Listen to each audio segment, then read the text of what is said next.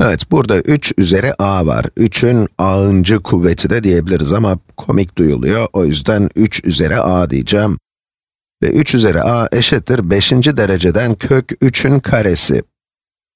a'nın neye eşit olduğunu bulmaya çalışacağız. a'yı çekelim o zaman. Burada 5. dereceden bir kök var. Mesela bu kökü ortadan kaldırmak için, bu kökten kurtulmak için hemen ifadenin 5. kuvvetini alsak nasıl olur? Tabi sadece bir tarafın 5. kuvvetini almak olmaz. Bir tarafa ne yapıyorsak, bir tarafta ne yapıyorsak, aynısını diğer tarafta da yapmamız lazım ki eşitlik bozulmasın. O halde denklemin her iki tarafının da 5. kuvvetini alalım. İki tarafında üstüne 5 yazıyorum. Sol taraf için üslü sayıların özelliklerini hatırlayalım. 3 üzeri a'nın 5. kuvveti. Yapacağımız şey nereden geliyor hatırlayalım. Bu ne demek? Bu 3 üzeri a çarpı 3 üzeri a çarpı 3 üzeri a çarpı 3 üzeri a çarpı 3 üzeri a'ya eşit. Peki bu neye eşit olur? 3 üzeri a artı a artı a artı a artı a'ya eşit olur. O da 3 üzeri 5a ile aynı şey. Yani burada kullandığımız üslü sayı özelliği şu, bir tabanın bir kuvvetini alıp, sonra onun da başka bir kuvvetini almak demek, tabanın bu iki üssün çarpımı kadar kuvvetini almak demektir. Tekrarlıyorum, bir tabanın bir kuvvetini alıp, sonra da onun başka bir kuvvetini almak demek, tabanın bu iki üssün çarpımı kadar kuvvetini almak demek.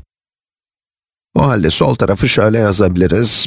3 üzeri 5a, 3 üzeri 5a eşittir.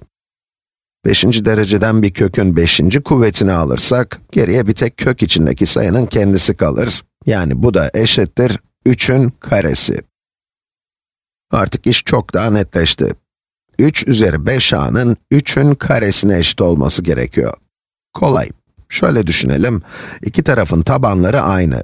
O halde bu üssün, bu üsse eşit olması lazım. Yazalım, 5 çarpı a, 5a, 2'ye eşit olmalı. Peki a nedir? O zaman a ne olacak? İki tarafı 5'e bölersek, a eşittir 2 bölü 5, 2 bölü 5. İlginç bir sonuç bu. Bu örneğin güzel tarafı şu, kesirli üslerin tanımının nereden geldiğini gösteriyor bir anlamda. Bu değeri asıl ifadede yerine yazalım. a'yı az önce bulduk ve dedik ki, 3 üzeri 2 bölü 5. Farklı bir renkle yapayım, daha dikkat çekici olur. 3 üzeri 2 bölü 5, 3 üzeri 2 bölü 5 eşittir 5. dereceden kök, buraya dikkat, 5. dereceden kök, demek ki buradaki payda kökmüş. 5. dereceden 3'ün karesi, 5. dereceden 3'ün karesi.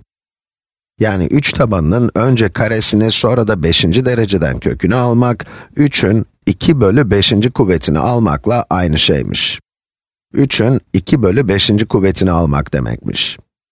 Dikkat edin, 3'ün önce ikinci kuvvetini, sonra 5. dereceden kökünü alıyoruz. Veya burada gördüğümüz özelliği kullanacak olursak, bunu başka bir şekilde de yazabiliriz. Bu şununla aynı şey.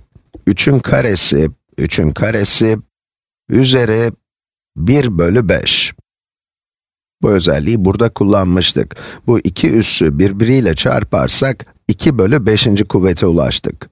O da 3'ün karesinin 5. dereceden köküne eşit. 3'ün karesini alıyoruz, sonra da 5. dereceden kökünü buluyoruz.